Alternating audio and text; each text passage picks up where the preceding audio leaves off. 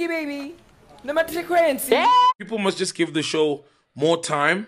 And also, I mean, I've been off radio for a very a long time now. It's very different from podcasting.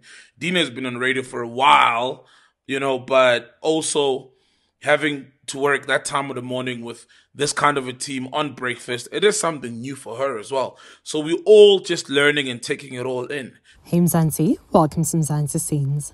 So radio host Sol Phenduka talked about his radio drama with Dineo Ranaka on a podcast after she was accused of not giving him a chance to speak on their breakfast show. Dineo was dragged on Twitter when a Twitter user shared a video of Sol raising his hand to speak. When Sol was asked on the podcast if Dineo is the main anchor, he said yes, and when asked if it was Dineo's show, the answer was no.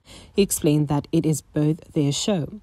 Sol then made a comparison of their breakfast show with podcast and chill. He said that his role is just as important on the podcast, but like Dineo, MacG is the main anchor. Today, Dineo and Sol had Mihlali Ndamase as their guest, and as usual, fans noticed how Sol hardly got anything across.